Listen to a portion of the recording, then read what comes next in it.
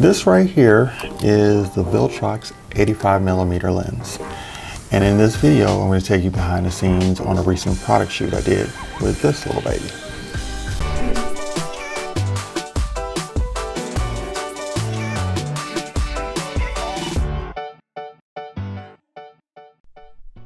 Hey guys, if you're new to the channel, my name is Kerwin Davis. I am a photographer slash videographer living out the Atlanta area. In this video, we're taking you behind the scenes on a recent product shoot I did with a local boutique. Now, I've worked with this brand several times, J. Brooks Boutique. I love this brand because of their clothing, they're a black owned business, and they're an entrepreneur. And during this time of a pandemic, I think you should always support black owned entrepreneurial businesses. I also had the opportunity to work with awesome model, um, Leah. And this basically is just showing behind the scenes of my work process and the models and the looks. So I hope you enjoy content like this. And without further ado, we're going on to the video.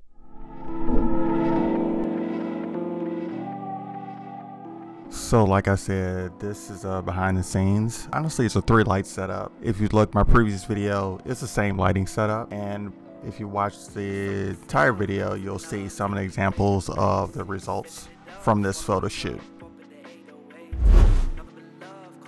Oh, before I forget, uh, the settings for this shoot was I shot at f5, 125th of a second, ISO 200 fan of her. See no ring on the hand of her. No man, new manicure. I'ma be what I am with her. Cause I saw that she had promising eyes like I see this moment in hindsight. That was a moment in time. I fell in the mode in a blind light. Watching us dance from the sidelines. Vibes ride through hive mind. Hand on the hip, handling it. All in a trance in a blind light.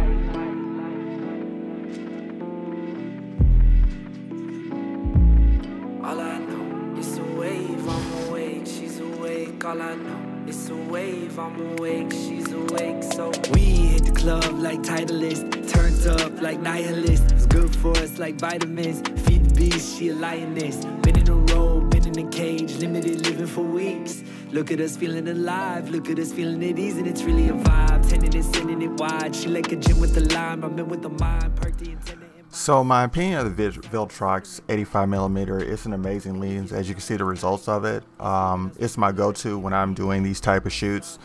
Uh, actually any type of portrait, so I would definitely recommend that type of lens if you could afford it. Once again, thank you for watching this video. If you like more content like this, be sure to like, share, and subscribe. And if you want to see more of my work, you can visit me on all social media platforms under Kerwin Davis Photography or visit my website at kerwindavisphotography.com.